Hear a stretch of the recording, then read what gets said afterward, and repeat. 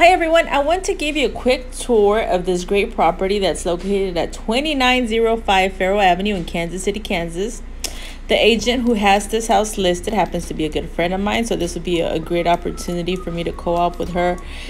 Um, and so if you're interested in buying a house in Kansas City, Kansas, this just may be the house for you.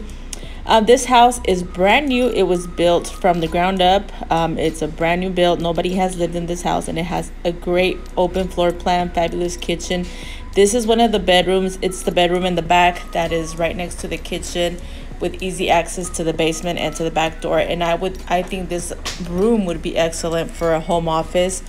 Um, down here, we're gonna go down to the basement. The basement is completely finished. It has a great fireplace that has great storage. There's also a bathroom down here. Um, so you have easy access if you want to hang out all day in the in the basement and watch TV and watch Netflix. This is a great great room. I just love it. This house is very cozy. It's a total of 1406 square feet 908 feet in the top floor and 498 feet in the basement. What I really like about this is that if I'm hanging out downstairs um, you have easy access to the laundry room so you can do your laundry watch some movies and you just head right on up the stairs and you're back in the kitchen so you can grab some snacks. And so i really really like this house. It's in the quindaro area. It's listed at $187000 this is the other two bedrooms up here. We have the bathroom. This is the main bathroom on the main floor. It has great tile work and a lovely bathroom sink and look at this beautiful tile floor and the shower design. I love it. And over here this is one of the bedrooms. Um, it's the one that's in the front part of the house. This is a bungalow style house so just imagine this.